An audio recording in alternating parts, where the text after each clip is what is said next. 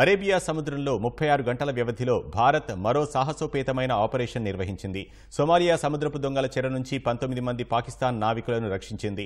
Iran జెండాతో వెళుతున్న అల్ నయీమీ నౌకని చుట్టుముట్టిన పదకొండు మంది పైరేట్లను బంధించింది. యుద్ధ నౌక ఐఎన్ఎస్ సుమిత్ర మెరైన్ కమాండోలు ఈ డేరింగ్ ఆపరేషన్లో పాల్గొన్నట్లు భారత నావికాదళం ప్రకటించింది. భారత నావికాదళం మరోసారి సత్తా చాటింది.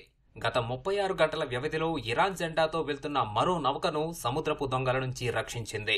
సోమాలియా తూర్పు తీరంలో చేపల వేటకు వెళ్ళిన అల్ నయీమీ నౌకను పదకొండు మంది సముద్రపు దొంగలు చుట్టుముట్టారు. ఆ సమయంలో నౌకలో పంతొమ్మిది మంది పాకిస్తాన్ జాతీయులు ఉన్నారు. తమను రక్షించమని భారత నావికాదళానికి సందేశం పంపడంతో యుద్ధ నౌక ఐఎన్ఎస్ సుమిత్రను భారత్ మరోసారి రంగంలోకి దించింది. యుద్ధ హెలికాప్టర్లో అక్కడకు చేరుకున్న మెరైన్ కమాండోలు డేరింగ్ ఆపరేషన్ చేసి నౌకలోని పంతొమ్మిది మంది పాకిస్తాన్ నావికుల్ని కాపాడారు. కొచ్చి తీరానికి ఎనిమిది వందల నాటికల్ మైళ్ళ దూరంలో ఉన్న ఆ ప్రాంతానికి చేరుకుని సాయుధ సముద్రపు దొంగల నుంచి అల్నయీమీ నౌకను కాపాడినట్టు నావీ వెల్లడించింది. అందుకు సంబంధించిన చిత్రాలను విడుదల చేసింది.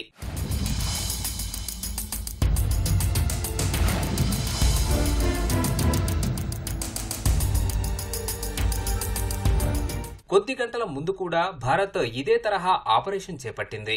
శనివారం రాత్రి అరేబియా సముద్రంలో ఇరాన్ చేపల బోటు ఎఫ్ఈ ఇమాన్ను సోమాలియా దొంగలు హైజాక్ చేశారు.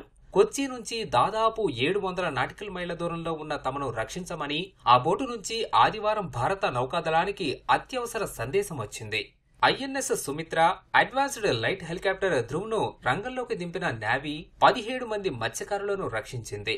సోమాలియా సముద్రపు దొంగలను తరిమి కొట్టింది.